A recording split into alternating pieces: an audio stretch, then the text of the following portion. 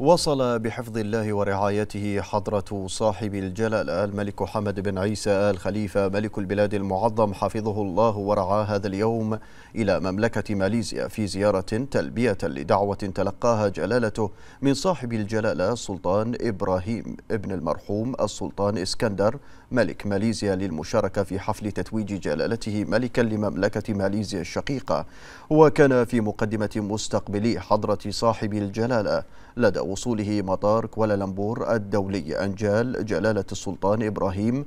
الأمير إسماعيل والأمير إدريس والأمير عبد الرحمن والأمير أبو بكر وسعادة السيد فهمي فضل وزير الاتصالات الماليزي والدكتور وليد خليفة المانع سفير مملكة البحرين لدى مملكة ماليزيا وعدد من المسؤولين وأعضاء سفارة مملكة البحرين لدى ماليزيا وكان صاحب الجلالة قد غادر أرض الوطن بحفظ الله ورعايته في وقت سابق من هذا اليوم. رافقت جلالة الملك المعظم السلامة في الحل والترحال.